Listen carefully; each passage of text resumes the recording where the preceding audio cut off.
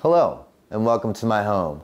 But before we get started, it's customary that anybody that enters between those two doors has a Polaroid picture taken of them. So if you don't mind,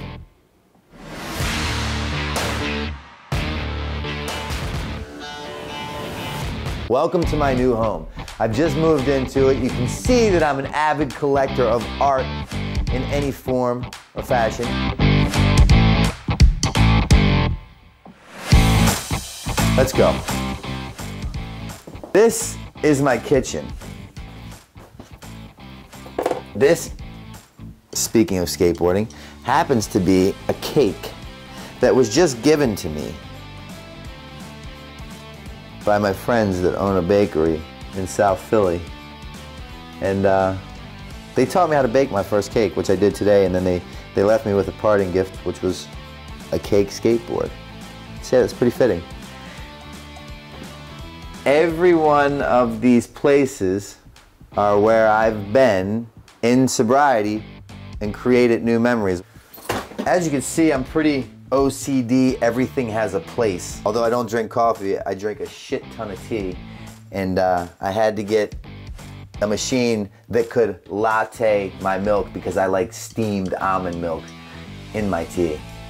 I know, yeah, you're bougie. I get it. I'm not bougie, I just know what I like these days. Let's get out of here. Kitchen bores me. This, this is my favorite piece of art in my, my whole house. I've acquired that in Barcelona, Spain, maybe three and a half years ago. Um, and I don't know, I'm kind of a fanatic for crosses, um, rosaries. Again, not religious, extremely spiritual. And, and, uh, and Lord knows I need the help. Come on, this is the bedroom. If you've heard it said, where the magic happens. So this is Baltimore City. This is Baltimore City. I literally used to buy heroin behind this house right here. So I'd walk down that alley to the second house in, walk into the backyard, and they would serve me. Um, so every morning when I wake up, that's the first thing that I see. You know? And it's a reminder, it's a daily reminder of where I could be again. You asked me earlier who my favorite band was. My answer, my response was the Babyshambles. And this is them. This was my grandfather's. My grandfather passed it along to my father. Uh, my father is no longer with us. He died a, uh, from addiction. But somehow this stood the test of time. And if you notice, it's the only thing that I've hung up on this brick wall because I think this wall in itself is art but that complements this. There's that. Come upstairs. But first, recognize the whole wall.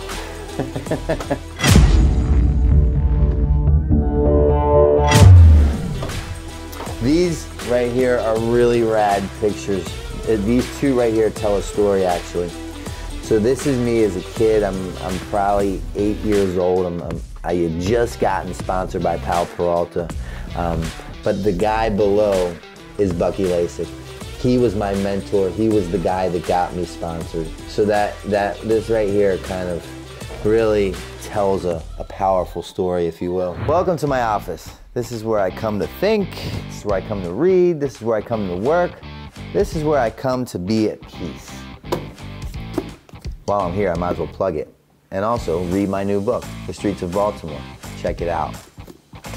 Um, this office is pretty symbolic of, of a lot of things that are important to me. Right here is an award that I was given by the DEA. I don't know if you heard me correctly, but this is an award that I was given by the DEA, the Drug Enforcement Administration. Pretty goddamn powerful. This is my grandfather. This is a really, really important picture to me. Um, this is the guy whose art hangs above my bed, that stained glass. The window was was honestly one of the selling points that, that made me want to purchase this home.